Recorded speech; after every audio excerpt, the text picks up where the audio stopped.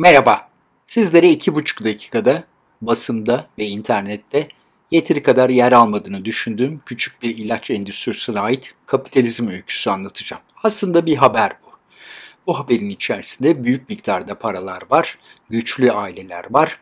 Belki komplo teorilerinden hoşlananlar için ilginç bir video olabilir. Ama öğreneceğimiz kıymetli bir takım dersler var. İlaç endüstrisinin para karşılığı neler yaptığı ile ilgili bir video bu. Oxycontin diye bir ilaç kahramanımız. Ağrı kesici. Biliyorsunuz dünyada ağrı kesiciler en çok fazla satılan ilaçlar. Fakat bu Oxycontin sadece ağrıyı kesmekle kalmıyor. Kendinizi enerjik hissediyorsunuz, neşeli bir ruh hali sağlıyor ve bu yüzden dolayı da kısa zamanda firma bu ilaca yaptığı yatırımın karşılığını alıyor. Nasıl alıyor? Tam 35 milyar dolar ciro yapıyor. Yani kısaca ağrınızı geçirdim, sizi iyi hale getirdim. Paranızı rica edeyim lütfen. İşin özeti bu. Fakat daha sonra ilaçla ilgili bir takım sıkıntılar ortaya çıkıyor. Bir kere bağımlılık yapıyor. Nasıl yapmasın ki? Bunun yanında da bağımlılık nedeniyle yüksek dozda alındığından dolayı ölümler ortaya çıkıyor. Kısa zamanda bu ilaç sokağa düşüyor ve patlıyor.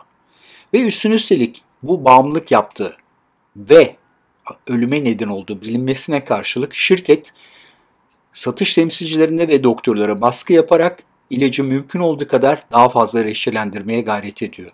Yani boş ver bu yan etkileri. Biz ilacımızı satalım diyorlar, paramızı kazanalım diyorlar.